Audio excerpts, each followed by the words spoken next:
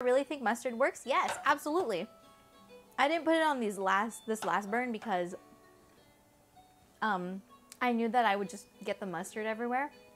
But I put mustard on like burns on the back of my hands and it has worked really well. Like I know it worked because I had burned myself around the same time and um, on different hands. And on one hand, I had learned because after that second burn, or after the first burn, I had learned mustard was a good thing to put on it. So on the next burn I got, which was like a day later, I put mustard on it and it healed much faster than the other burn did.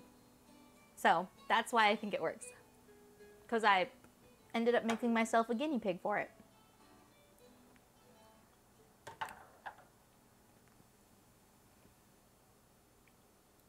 A slice of tomato or cucumber sounds very, very nice. Okay. Oh, just drop those shrimpies in there. Not hot enough though, because they should be like sizzling, but they're not. Meanwhile, I'm just gonna I'm like, um, so this ricotta mixture that doesn't look very appetizing, but I promise you, it tastes so good. I'm just trying to press around in it to make sure I don't have any large chunks of roasted garlic. And then try not to just like eat it off the spoon. Hmm. Delicious. Hmm. I'm wondering what uh, thing I can use to like cook this. Just gonna use this uh, technique right here. It's called not using any utensils to turn the shrimp over and get it cooked. Add some pepper.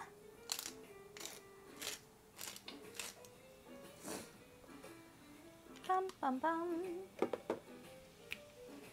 I'm wondering if like adding basil in there or anything will will be good idea or not. Add a little bit of salt.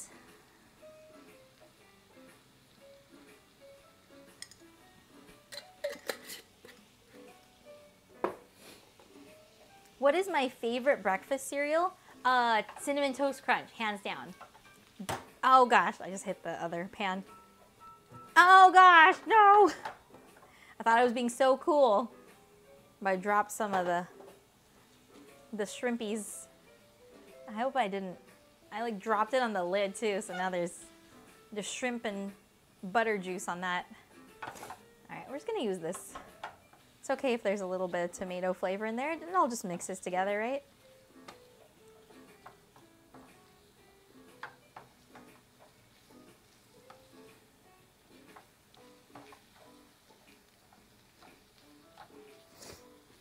Cool.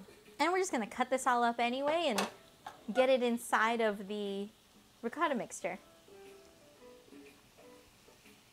CTC, I have never heard somebody abbreviate that. That's great.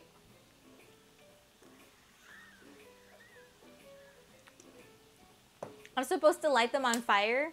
Wait, really? Is that what I'm supposed to do? I will believe you because you actually cook for a living and I just mess around on a camera.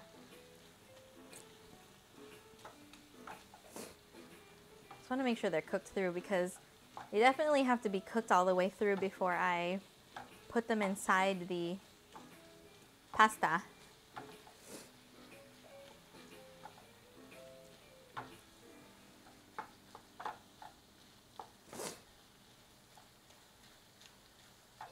I figure like it doesn't really matter if they're overcooked either because they're going to be cut in small pieces.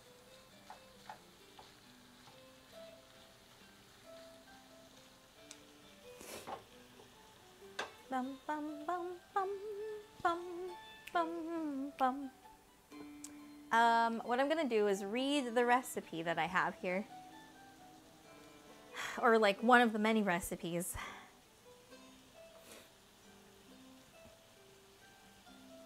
Supposedly I'm supposed to mix an egg yolk with everything.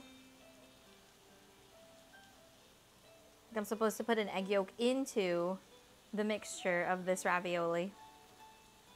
We shall see about that. Yeah, I think we're not going to put any egg yolk in here because we have like this really thick ricotta. So I'm not going to add an egg yolk. That's just